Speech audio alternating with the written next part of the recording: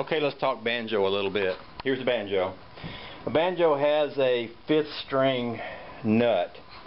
Uh, I've got a capo on this one, but that little white thing right there is the fifth string nut. And basically what it is, it's a little round piece of bone that the fifth string runs through. Now when you capo a banjo up, you have to also capo up the fifth string so that you don't over tighten it and break it. What I did on this banjo is I put a railroad spike right here which allows me to, when I fret this up to the fifth fret, I can hook that under that railroad spike and it is the equivalent of a banjo nut. However, it lowers the string down so that when I'm playing it here, the string is lower than the other strings, which doesn't bother me a lot, but it's just enough where it makes it not seem perfect. What I've come up with, and I've never seen anybody do this before, so I guess this is one of my inventions. I'm going to take me another banjo nut. I'm going to place it right here.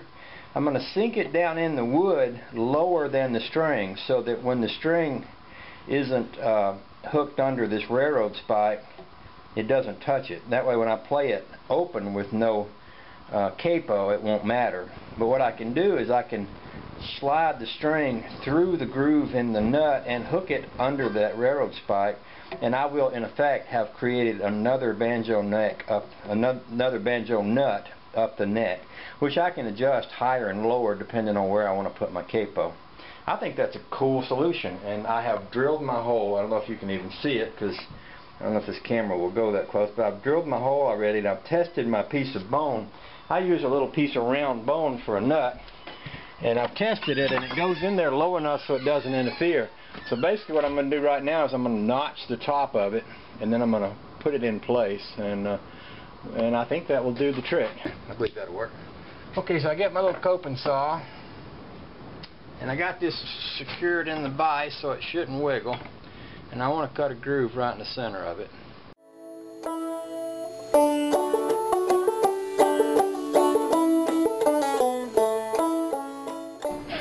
Pretty good looking groove if you ask me. Okay, let's go put it in the banjo.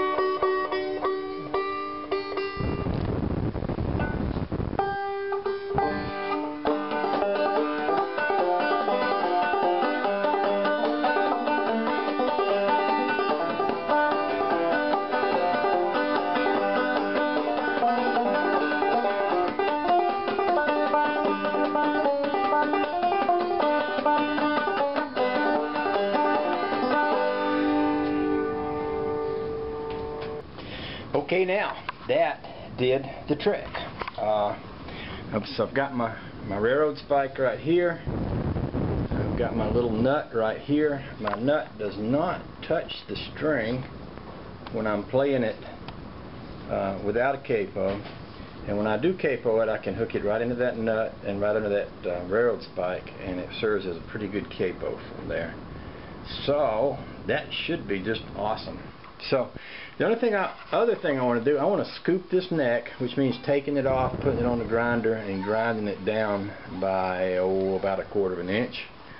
And I've got a little bit of uh, work I want to do back here. I want to make me a pretty little heel cap to go on there. So I don't know if I'll do that today or not. I might. Let's see. I might have time to do that. So that involves kind of pulling everything apart, which uh, it's a good time to do it.